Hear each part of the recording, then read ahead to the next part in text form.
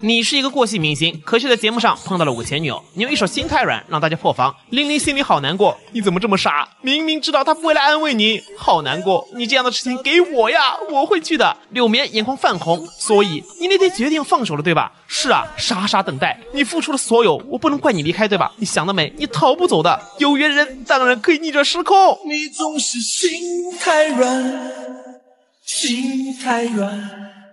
把所有问题都自己扛，相爱总是简单，相处太难，不是你的就别再勉强。电视机前的高小兰听得心疼，为什么受伤的总是你？你到底做错了什么？痛，太痛了！一举臂，张文博士真的吐了。金曲在萧凡这儿跟不要钱似的，一唱歌，所有人都感动了，大家也都不吵不闹。很快到了节目尾声的弹幕提问环节，有条弹幕是这么说的：萧凡自带超神被动技能恋爱循环，失恋以后身边就会出现一个新的完美女孩，并且两人会迅速坠入爱河。分手后，女方获得忘前任 buff，男生获得新歌素材，技能 CD 五。这一句话一念出来，几个男嘉宾都笑喷了。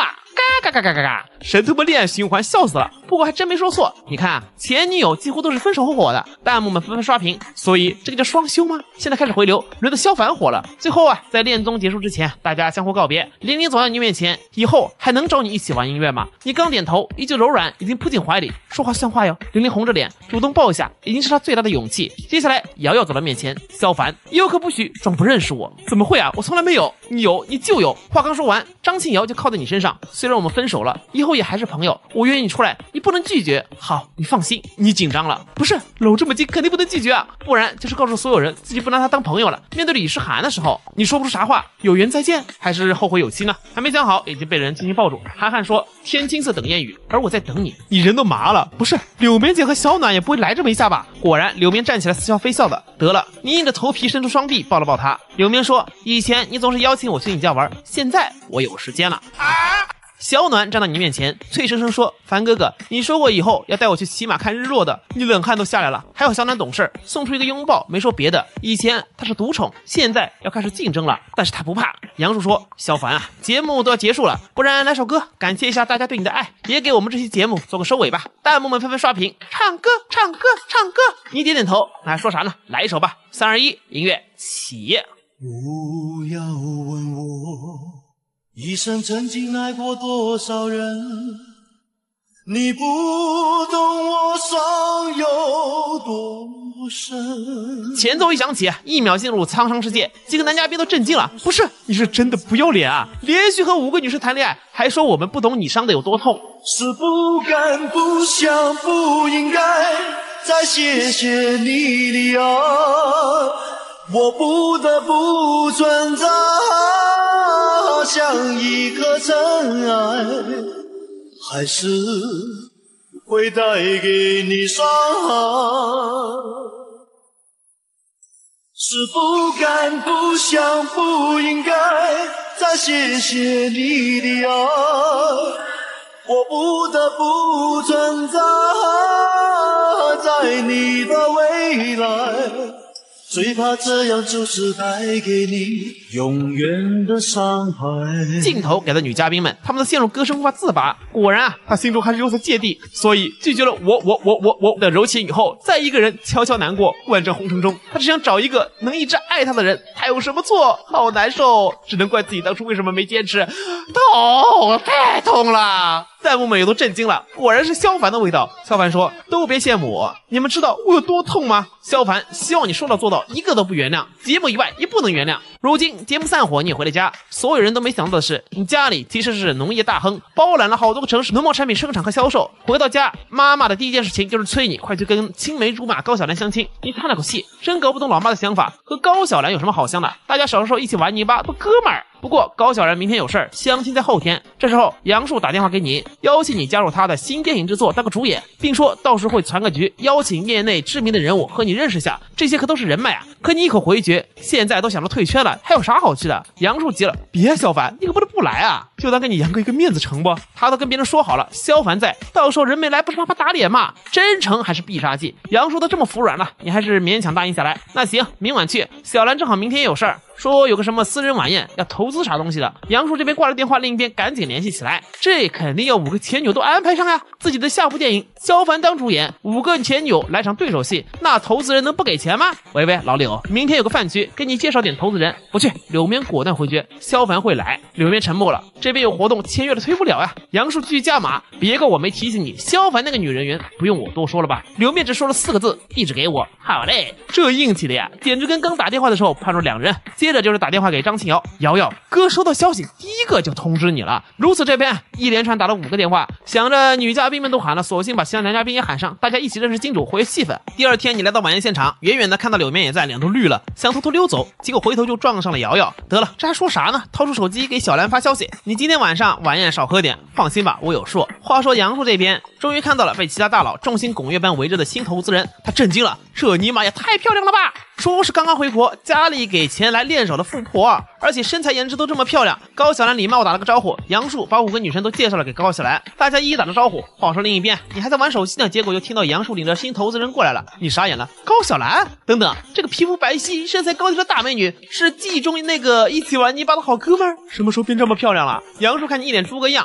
不是你也太赤裸裸了吧？这么盯着看干嘛？忽然他想到了，萧凡有前科啊，追女神简直就是神一样的存在。张文博也是吐了。我操，老杨，你喊他来干嘛？这岂不是完全没机会了？五个前女友心中同时出现一个词：恋爱循环，属于萧凡的被动技能。失恋后，身边就会出现一个新的完美女孩，并且两人迅速坠入爱河。不会吧，不会吧？杨叔有点不爽。萧凡，你还坐那干嘛？来给你介绍介绍这位年轻有为的高小姐。高小兰却笑了，不用介绍，谁不认识萧凡啊？大明星，你也懂了。难怪他说今天没空呢。径直走到高小兰面前，轻轻一拳碰到他肩膀上，两人都笑了，众人都看懵了，啥情况呀？柳面很快反应过来，他是唯一一个知道你家里背景的。这么年轻的富二代投资人，原来是和萧凡认识。高小兰笑道：“我们是青梅竹马了，好多年没见了。”张文博真的是吐吐吐了呀！不是说高总是个富二代吗？萧凡说他家里就是种土豆的，怎么可能跟高总是同学？柳面几人都震惊了，痛，太痛！青梅竹马，然后还是好多年不见的天降，这什么级别的竞争对手？地狱级吗？酒足饭饱准备回家的时候，柳面说：“我让司机来送你吧。”张琪瑶听到了也过来，坐我的，我们顺路，我送凡哥哥吧，我比较熟。苏小暖虽然不知道他们俩到底顺不顺路，但凡哥哥家自己肯定比他们熟。玲玲和李氏看脸色一变，不是送他回家我们也行啊。张国博人都麻了，不是啊这不拍节目了，大晚上这么多人，你们都不避嫌了吗？就在这时候，一辆跑车在门口停下，滴滴，大门自动弹开，小凡子上车，咱们回家。看着你坐着高小兰的布加迪威龙绝尘而去，张文博都羡慕死了。萧凡这是被富婆包养了吧？很快到了你家门口，那个小兰说起来，你一个女生开这车不合适吧？怎么不合适啦？胖胖的很可爱啊，我爸送的毕业礼物，感觉这颜色不好看，我打算换个车漆。萧凡心里感慨，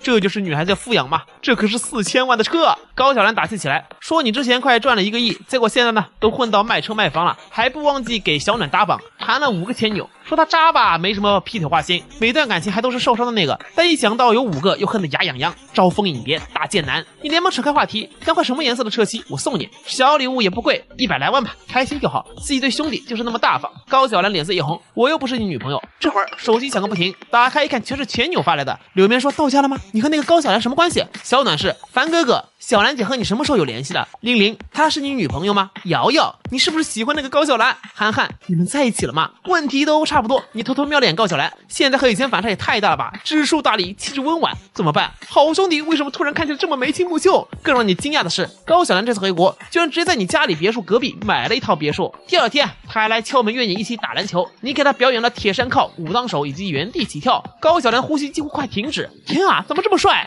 第二天，开着高小兰的布加迪威龙出去玩，小兰临时要去买个东西，留你一个人在车旁边。一位老大爷骑着三轮车蹭到了车，周围人都在看热闹。老人家，你惨了呀，这刮一下起码五十万呀！老头吓住了，五十万，把他卖了都不够，一个劲跟你道歉。你叹了口气，问了问大爷的情况，大爷说他没有退休金，老伴还在吃药，日子过得很紧吧？那你还不跑？啊！大爷懵了，这样走了良心过不去啊！谁知你掏出一把螺丝刀，在他三轮车上划了两下。好了，你划了我的车，我也划了你的，扯平了。老头这才如蒙大赦。这时有个围观的妹子羞涩凑上来：“小哥哥，能加个微信吗？”你内心暗爽，可却指了指旁边：“对不起，我有女朋友了。”正是高小兰走过来：“小兰啊，哥哥用你做一次挡箭牌，好兄弟当个挡箭牌不过分吧？”高小兰没好气的说：“你就这么帮我看车的呀？”两人拌嘴一会儿，这才作罢。在车内开车，外头雨一直下，你有感而发：“系统来首歌呗。”不多说，三二一，乐起。雨雨之下，气氛不算融洽。在同个屋檐下，你渐渐感到心在变化。高小然听懵了，他什么意思？自己说要和他一起工作，一起创业，同一个屋檐下，气氛开始变得尴尬。是啊，原来萧凡一直怕失去自己这个朋友，可偏偏还很暖逗自己开心，所以他是知道自己爱意的，所以他是知道自己小心思。就是爱到深处才有他，碎了心也要放得下。难道忘了那爱他的伤？密高小兰眼泪流下，天啊，这是句句都在暗示自己，只是因为爱过的伤密密麻麻，你人都傻了，怎么还把好兄弟给上破防了呢？哦，都忘了，小兰好像刚经历了一段情伤，还记得她的朋友圈上面写的，喜欢你原来是我一个人的事情，无论怎样我都没后悔过喜欢你。哎，一不小心就触发她的舔狗过往了，误到了友军。当然了，咱们观众肯定知道，高小兰就是因为萧凡才发的这段话，只是这货不知道而已。你叹了口气，想起了当时两个小屁孩奔跑打闹，一起累瘫在草地上。萧凡，我们以后长大了也要这么要好。嗯，就算长大了也要一起玩。说好了呀，我们要一直一直在一起。得了，那就来一首给小兰治愈一下吧。风吹雨成花，时间追不上白马。你年少掌心的梦话，依然紧握？这前奏一出啊，高晓兰就愣住了。风吹雨成花，这就是唱给自己的吗？这么悲伤的语调，为什么还要提少年？为什么还要提过去？我们说好不分离，要一直一直在一起，就算与时间为敌，就算与全世界背离。高晓兰愣住了，没有声嘶力竭，没有痛彻心扉。那年夏天，记忆中的一幕幕再次出现在脑海。原来他一直没有忘记。现在我想问问你，是否只是童言无忌？天真岁月不忍欺，青春荒唐我不负你。大雪求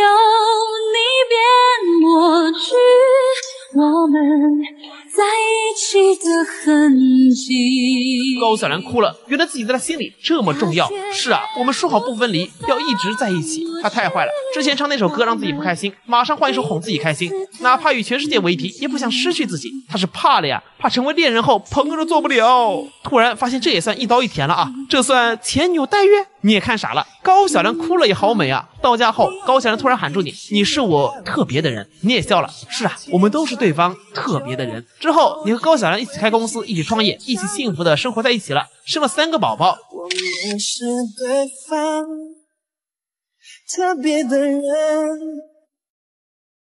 奋不顾身，难舍难分，不是一般人的认真。至于五个前女友嘛，玲玲出国深造发展了，说是要将本国女团推向全世界。瑶瑶后来开了一家影视电视剧公司，招了好多艺人，自己当了老板娘。李诗涵听说没拍电影，继承家业经商去了。柳棉就一个人继续单着，也没再找谁，可能是心里一直还有个人吧。至于苏小暖，除了明星事业以外，在短视频上成为了二次元大咖，有四千多万粉丝呢。好啦，三线的我翻身了的故事到这里就结束啦。是一个和高晓兰在一起的纯爱结局。前女友们虽然都很好很甜，但好马不吃回头草的道理应该不用多赘述了吧？当初是为什么分的手？剧情里大家想必都很清楚。和天降青梅高晓兰在一起也是很幸福的结局啦。其实呢，小说到这里还没有结束，但是吧，主角的能力又变多了，可以兑换电影、小说之类的，有那么点无限循环的意思。我的视频版就做了小小改变，到这里就结束了。感兴趣的可以自己在番茄小说手机端搜索“三仙的我翻身了”，第一个就是了。目前改编进度对应原著一百八十章。那么我是周周，我们下个系列再见，拜拜。